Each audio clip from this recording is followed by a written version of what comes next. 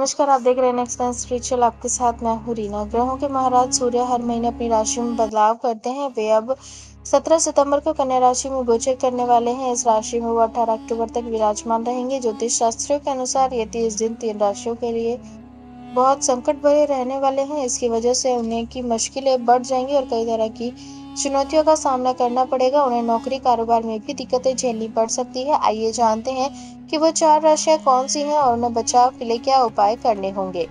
पहली है, मीन राशि सूर्य गोचर की वजह से आपके पारिवारिक जीवन पर विपरीत असर पड़ने की आशंका है। जीवन साथी के साथ आपका गंभीर मतभेद हो सकता है। आपके घर में आर्थिक तंगी का दौर शुरू हो सकता है। तकादे वाले आपको परेशान कर सकते हैं, आप गंभीर मानसिक तनाव में भी घिर सकते हैं, जिससे आपकी तबीयत बिगड़ सकती है। इसके लिए आपको अपनी वाणी पर नियंत्रण रखना है, मुश्किल वक्त में किसी से गलत ना बोलें। कार्यस्थल पर अपने काम पर ध्यान दें धीरे धीरे वक्त निकल जाएगा। तुला राशि सूर्य गोचर की वजह से आपको पैसों से जुड़ी दिक्कतें हो सकती हैं। आपने जिन्हें पैसे उधार दिए हैं, वो भाग सकते हैं। आपका निवेश डूबने के भी आसार हैं। बिज़नेस में आपको नुकसान हो सकता है। कारोबारी पार्टनर के साथ आपकी खटपट हो सकती है, जिससे बिज़नेस को नुकसान होगा, घर में भी आपको तनाव झेलना पड़ेगा।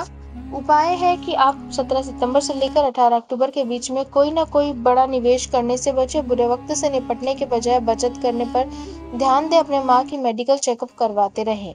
अगर आपको हमारी ये जानकारी अच्छी लगी हो तो इसके बाद कुंभ राशि, इस राशि के स्वामी शनि है, जिनको अपने पिता सूर्यदेव से हमेशा छत्तीस का आंकड़ा रहता है। यही वजह है कि सूर्य राशि परिवर्तन करने के लिए आपके लिए अशुभ परिणाम लेकर आ रहा है। सूर्य राशि परिवर्तन का ये परिवर्तन इस गोचर की अवधि में आप जो भी फैसले करेंगे, उसमें आपको नुकसान होने की आशंका है। आपके घर में भाई बहनों के साथ मतभेद हो सकते हैं। सूर्य का नकारात्मक परिणाम आपकी सेहत पर खराब असर भी डाल सकता है। आप शांत और संयमित रहें। इसका उपाय है कि सूर्य गोचर की अवधि में आप तीस दिनों तक शांत और संयमित रहें। किसी से झगड़ा करने या कठोर वाणी बोल किसी से झगड़ा करने या कठोर वाणी बोलने से बचे प्रभु का स्मरण करें। संकट दूर हो जाएगा। अगर आपको हमारी ये जानकारी अच्छी लगी हो तो कमेंट करके ज़रूर बताएँ वीडियो को लाइक और शेयर करना ना भूलें और हमारे आने वाले वीडियोज़ के अपडेट पाने के लिए चैनल को सब्सक्राइब करें और साथ ही बेल आइकन दबाना ना भूलें।